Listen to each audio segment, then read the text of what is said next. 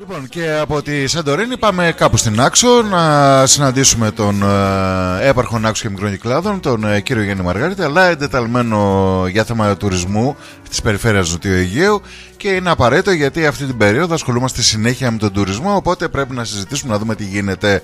Άλλωστε πρόσφατα είχε και μια επικοινωνία με τον Υπουργό, τον κύριο Θεοχάρη, οπότε έχουμε ξέρεις, από πρώτο χέρι κάποια πράγματα. Καλημέρα, καλή εβδομάδα. Καλημέρα.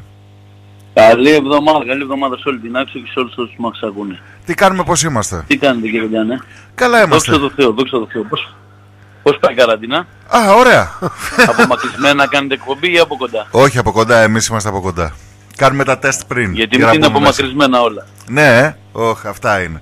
Ε, Ε, είχαμε Περιφερειακό Συμβούλιο Τουρισμού την προηγούμενη εβδομάδα με τον κύριο Θεοχάρη. Ναι, Όπως ακριβώς το είπατε, απομακρυσμένα γίνονται αυτά πια, αλλά έχουν πυκνώσει. Ωραία. Ανά δύο εβδομάδες περίπου έχουμε Περιφερειακό Συμβούλιο Τουρισμού. Όλοι οι αντιπεριφερειάρχες από όλη την Ελλάδα. και έχουμε Και Ε, εικόνα; φυσικά αυτό που συζητάμε, ε, συζητάμε τα προβλήματα και συζητάμε και ποιες είναι οι επόμενες κινήσεις και μας ανακοινώνει πρώτος τι, θα, τι έχει σκοπό να συμβεί από εδώ και πέρα και ποιες είναι οι κινήσεις της κυβέρνησης και ουσιαστικά εμείς επειδή είμαστε πιο κοντά στην αγορά λέμε τι προβλήματα πρέπει να λυθούν. Μάλιστα. Ε, Οπότε περιμένουμε με αγωνία να μας πείτε ένα-δυο πραγματάκια. Δηλαδή τι είναι, ε, πάμε για 14 του Μάρτη. Δηλαδή το ακούω και μου φαίνεται λίγο παράξενο από την αλήθεια, αλλά Κοιτάξτε, για να το εγώ λέει... αυτό που του... Εγώ αυτό που τόνισε στον Υπουργό είναι το 14 Μάρτη που λέτε Υπουργέ. Μάη, το 14 συγγνώμη. Μάη που λέτε Υπουργέ σημαίνει ότι ο τουρισμός ξεκινάει από 14 Ιούνιου. Γιατί ξέρω ότι ο τουρισμός πάει ένα μήνα μετά. Οπότε του λέω κάντε κάποια κίνηση από 14 Απρίλη, ανοίξτε κάποιες αγορές ή κάποιους προορισμούς. Εγώ έθεσα πολύ σημαντικά τον προορισμό γιατί έχουμε διεθνή αεροδρόμια στο Νότιο Αιγαίο, το οποίο δεν υπάρχει πρόβλημα να έρθει κόσμος μέσω Αθήνας, οπότε άνοιξε μερικούς προορισμούς, να μπορούν να ξεκινήσουν κάποιες πρώτες charter πτήσεις, για να ανακοινωθεί ότι ξεκίνησε ο τουρισμός, να αρχίσουν να γίνονται κρατήσεις από 14 ε, Μάη. Μάλιστα. Γιατί ξέρετε στο ξεκίνημα ο άλλος φοβάται να έρθει. Και αν υπάρξει κάποιο lockdown και ξεκινήσουν 15 μέρες πιο νωρίς, τι κάνω εγώ με την κράτησή μου; Ενώ αν πούμε ότι 14 Απρίλη ανοίγουμε, είναι όλα μια χαρά.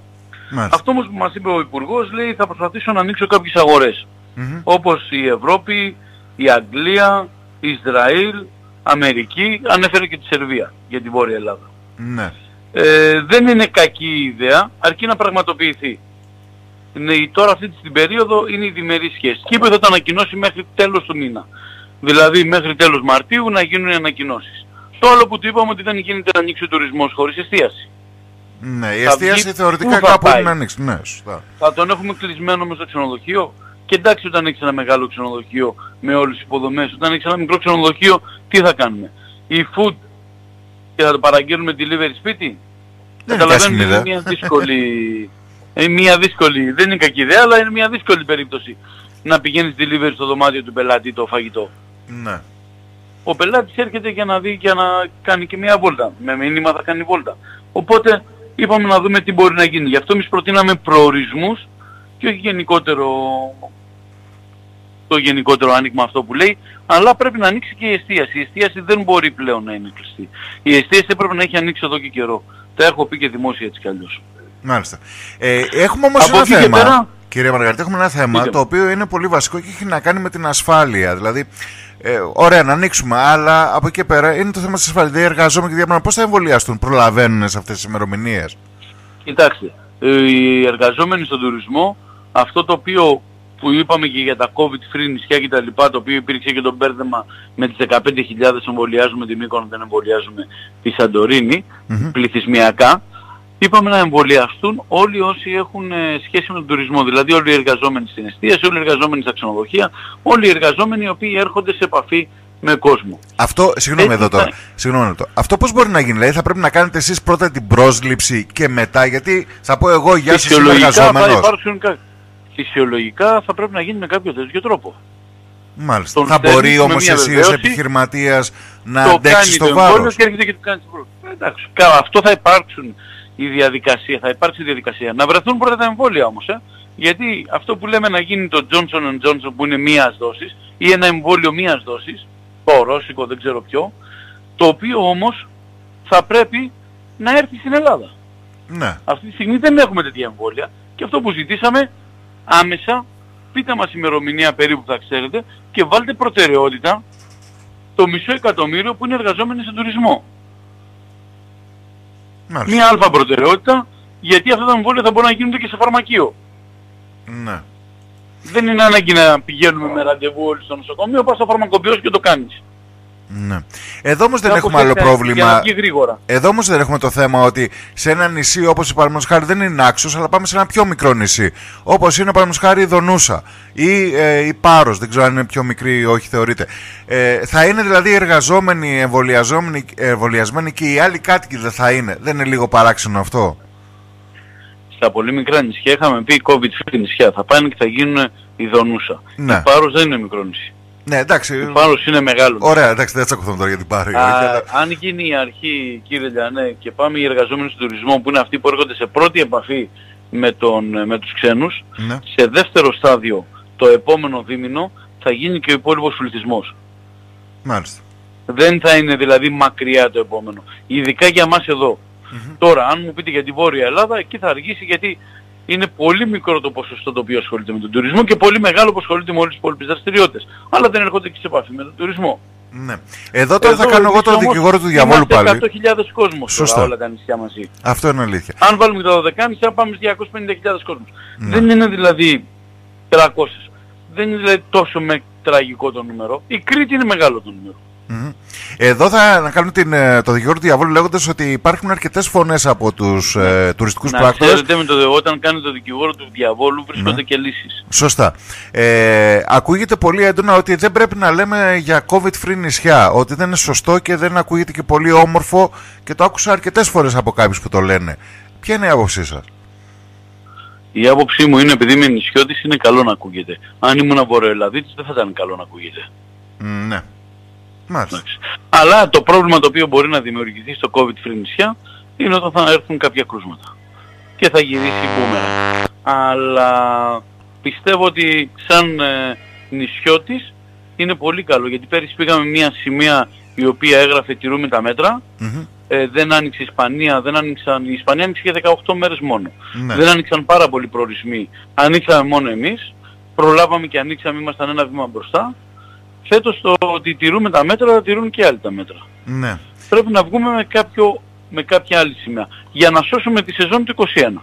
Σωστά. Γιατί από το 22 έτσι κι αλλιώς βλέπουμε μια, ε, θα υπάρξει μια τρομερή αύξηση όπως το έχουμε πει και άλλες φορές. Μάλιστα. Έχουμε εικόνα πώς λειτουργούν οι ανταγωνιστές μας, δηλαδή είτε οι Τούρκοι, είτε οι Ισπανοί, είτε οι Κροάτες, γιατί θεωρώ ότι Πολλοί αυτή είναι η οι- μεγαλύτερη. Τούρκοι και λοιποί ανοίγουν και χήμα. Οι Ισπανοί θα ανοίξουν με τεστ, θα ανοίξουν με άλλες με προδιαγραφές. Αλλά οι Ισπανοί έχουν το εξής πρόβλημα. ότι Είναι τα καντόνια εκεί, είναι οι περιφέρειες και ο κάθε, ένας, ο κάθε κυβέρνηση έχει διαφορετικούς νόμους. Ναι. Οπότε δεν υπάρχει μια κοινή πολιτική από την κυβέρνηση, ούτε μπορεί να εφαρμοστεί μια κοινή πολιτική από την κυβέρνηση. Μάλιστα. Και ο ξένος θα πάει δηλαδή στην Τουρκία επειδή είναι χυμά. Δηλαδή δεν ακούγεται λίγο από τη στιγμή που οι ξένοι υποτίθεται Έτσι, ότι μπράβο. έχουν ως σημαία την Αυτό ασφάλεια. Έρχεστε, έρχεστε στα λόγια μου τώρα. Πλέον το θέμα είναι η ασφάλεια. Ο Ναι. κόσμος θέλει να πάει κάπου με ασφάλεια. Εμείς πάμε λοιπόν να πιάσουμε την ασφάλεια. Μπορεί να είπε κάθε Τουρκία ότι ανοίγουν χυμά, Μμμ. αλλά αυτό δεν λέω ότι είναι το σωστό. Και θα δείτε ότι αυτό θα τους έρθει μπούμεραγκ. Μάλιστα. Από εκεί και πέρα μπορείτε ένα μεγάλο resort στην Τουρκία που έτσι κι αλλιώς θυμόμαστε και παλιότερα φοβόταν ο κόσμος να βγει έξω από τα resort στα παράλια. Αυτό είναι Γιατί αλήθεια. υπήρχε Στις αρκετά περισσότερες μεγάλη περιοχές κλιματικότητα. αυτές έτσι γίνεται. Ναι.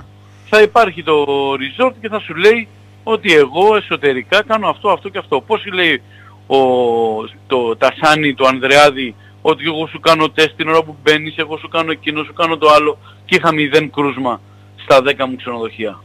Μάλιστα. Γιατί είχα οριακό αναλυτή μέσα στα ξενοδοχεία μου. Εντυπωσιακό. Εικόνα έχουμε για το καλοκαίρι αυτή τη στιγμή ή είναι πολύ νωρίς; Κοιτάξτε, όχι, έχουμε εικόνα. Ξεκι, έχουν ξεκινήσει οι κρατήσεις. Ε, από την ημέρα που ανακοίνωσε ο Μπόρις Τζόνσον ότι ανοίγει μέσα Μάη, ξεκίνησαν κρατήσεις από την Αγγλία. Αυτή τη στιγμή η πρώτη αγορά σε κρατήσεις είναι η Αγγλία. Ε, και θα συνεχίσουμε μετά με κάποιες ε, κέντρο Ευρω... χώρες στο κέντρο της Ευρώπης, είτε Βέλγιο, είτε Ελβετία, είτε Γερμανία, οι οποίες έχουν αρχίσει και κάνουν κρατήσεις, αλλά και η Γαλλία, η οποία παραδοσιακά στη δικιά μας την περιοχή Δηλαδή στις Κυκλάδες είναι μια πάρα πολύ δυνατή αγορά. Μάλιστα. Ε, η ερώτηση... Αμερική είναι λίγο πιο διστακτική, Εντάξει. αλλά υπάρχουν πάρα πολλά request και υπάρχει μια αρκετά μεγάλη κινητικότητα. Θέλουν οπωσδήποτε να φύγουν να έρθουν για διακοπές. Αυτή τη στιγμή η Αμερική βλέπουμε την τάση της που έχει καλό καιρό στην Καραϊβική και στην Κωνσταντίνα ε, είναι, έχει, ο κόσμος θέλει να πάει διακοπές και έχει ήδη πάει τις χειμερινές του διακοπές εκεί. Οπότε ελπίζουμε και εμείς καλοκαιρινές του διακοπές. Στην Ελλάδα γίνονται κρατήσεις, έχουν ανοίξει πτήσεις. Η American Airlines αρχές Ιουνίου όπως και η Emirates αρχές Ιουνίου απευθείας πτήσεις ανακοίνωσαν από τη Νέα Υόρκη ε, και γενικότερα γίνονται κρατήσεις. Εμείς περιμένουμε και με αυτό που είπαμε το 15 του μήνα ανοίγουμε με τεστ με εμβόλιο. Εμείς περιμένουμε όμως γενικότερα τις διμερείς σχέσεις μεταξύ των κρατών. Δηλαδή τι θα απαντήσει και η Αμερική; Α, οι Έλληνες που πάνε εκεί, οι Αμερικάνοι που γυρίζουν, μπαίνουν σε καραντίνα; Τι ακριβώς συμβαίνει με αυτό; Μάλιστα. Και η τελευταία ερώτηση έχει να κάνει με το Ισραήλ, γιατί ο χρόνος δυστυχώ τελειώνει. Επειδή γίνεται μεγάλη κουβέντα για το Ισραήλ, ότι αυτό και τέτοια πράγματα. Μπορεί να, μπορούμε να στηριχθούμε σε, σε τουρισμό Εμείς, από το Ισραήλ; Καταλαβαίνω την ερώτησή σας. Ε, να μην κοιτάμε μόνο για μας. Εμείς εδώ στην Άξο ή στα γύρω νησιά όχι. Η Ρόδος, η Κρήτη ναι. Γιατί έχει απευθείας πτήσεις. Mm-hmm. Υπάρχουν προορισμοί όπου πάει το Ισραήλ. Ε, δεν έρχεται σε εμάς. Δεν είναι όλες οι αγορές μόνο για μας. Ναι, όχι, εννοούσα γενικά για το Νότιο Αιγαίο κατά πόσο μπορεί να στηριχθεί. Το Νότιο ε... Αιγαίο στα Δωδεκάνησα από το Ισραήλ πηγαίνει. Και mm. παραδοσιακά, επειδή είχα πάει και στην έκθεση του Ισραήλ πέρυσι, εκπροσωπώντας την περιφέρεια, ε, είδα ότι υπάρχει ένα πολύ μεγάλο ενδιαφέρον για την εκεί πλευρά του, την, ε, το, Μάλιστα. Το Βεκάνησα. Ειδικά για τη Ρόδο. Ναι. Και από ότι... δύο θέματα τα οποία συζητήσαμε με τον Υπουργό ναι. πάρα πολύ γρήγορα. Ε, του θέσαμε το θέμα με το ξενοδοχείο Καραντίνας, mm-hmm. ότι πάρα πολύ απλά πρέπει να συνεχίσει να ισχύει, αλλά πρέπει να ενισχυθεί ώστε να μπουν καλύτερα ξενοδοχεία. Εμείς έχουμε καλό ξενοδοχείο εδώ, αλλά σε άλλες περιοχές δεν υπάρχει και επιτέλους να πληρωθούν κιόλας οι άνθρωποι. Δεν είναι πληρωμένοι δηλαδή; Ε, ε δεν έχουν πληρωθεί. Όχι, δυστυχώς και είπε ότι θα πάρουν το 75% μπροστά. Τέλος πάντων, πάντως το μεγάλο πρόβλημα το, και ε, μας ανέφερε κιόλας ότι θα πέσουν επιδοτήσεις για innovation και για startup σε τουρισμό. Μάλιστα. Αλλά το μεγάλο θέμα είναι το ξεκίνημα της τουριστικής σεζόν ε, με πρωτόκολλα που λέγαμε πέρυσι με εμβολιασμούς λέμε φέτος. Οπότε, κάνουμε το σταυρό μας, κρατήσεις έρχονται, ε, υπάρχει πολύ μεγάλο ενδιαφέρον τις τελευταίες δύο εβδομάδες. Υπάρχει αισιοδοξία. Μάλιστα. Είμαστε σε μια περιοχή η οποία θα ανακάμψει πρώτη. Πρώτη ναι. θα ανακάμψει σύμφωνα με όλες, όλες τις μελέτες οι οποίες έχουν γίνει. Και δόξα τω Θεώ κάνουμε το σταυρό μας να επιβιώσουμε. Ωραία. Ε, να πω πάντως ότι μου στέλνουν εδώ μια ενημέρωση ότι οι τελευταίες δηλώσεις που έρχονται από τους Βρετανούς είναι ότι είναι εξαιρετικά απίθανη η μετακίνηση φέτος ε, των Βρετανών στο εξωτερικό. Ε, τώρα αυτό, εντάξει, σύμβουλος της κυβέρνησης ε, το είπε. σε πολλά site πολλά διαβάζουμε. Εγώ βλέπω την επίσημη ανακοίνωση ε, και την επίσημη ενημέρωση ε, του, της κυβέρνησης από, και από Αγγλία και βλέπω και πάρα πολύ δυνατά τη στάση που έχουν τα τουριστικά πρακτορία. Δηλαδή όταν οι άλλοι σου κάνουν κάθε μέρα πόσες κρατήσεις και όχι μόνο σε μένα αλλά σε πολλά ξενοδοχεία που μιλάω με πολλούς συναδέλφους και σε όλη την Ελλάδα και λέμε ότι είναι η πρώτη αγορά και έχει κάνει πόσες χιλιάδες κρατήσεις αυτή τη στιγμή έχει, έχουν κλείσει πτήσεις, έχουν γεμίσει πτήσεις, μπαίνουν καινούργια αεροπλάνα αυτό δείχνει ένα θετικό μήνυμα. Μάλιστα, σωστά. Λοιπόν, ευχαριστούμε πάρα πολύ. Θα τα ξαναπούμε σίγουρα γιατί υπάρχουν και θέματα που έχουν να κάνουν με την περιφέρεια αλλά και θέματα που έχουν να κάνουν με την άξιο και αφορούν το επαρχείο. Ελπίζουμε την επόμενη εβδομάδα να ξαναμιλήσουμε για αυτά τα θέματα. Ευχαριστούμε πάρα πολύ. Καλημέρα. Όποτε θέλετε και χρόνια μας πολλά για τα 200 μας χρόνια. Σωστά, είναι και αυτά. Τα γιορτάζουμε. Αφήνουμε μουστάκι όλοι. Το είπε η κυβέρνηση. Καλημέρα. Καλημέρα.